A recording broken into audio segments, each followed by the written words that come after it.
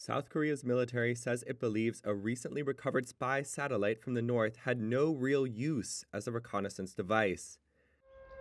The rocket carrying the satellite plunged into the sea off South Korea's west coast in late May after a botched launch. The South was able to salvage parts of the rocket, including the booster, payload, and cylindrical body. South Korea's military said in a statement Wednesday that, quote, after detailed analysis on major parts of North Korea's space launch vehicle and satellite which were salvaged, South Korean and U.S. experts have assessed that they had no military utility as a reconnaissance satellite at all.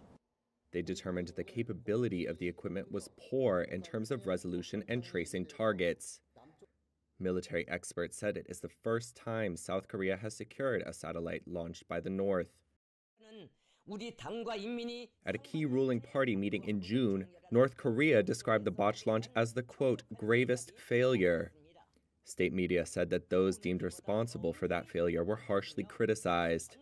It was a rare public admission of a technical problem by Pyongyang, who also vowed to succeed in its orbital quest. In recent months, the North appears to have upgraded its Sohae satellite launch station, potentially for another attempt.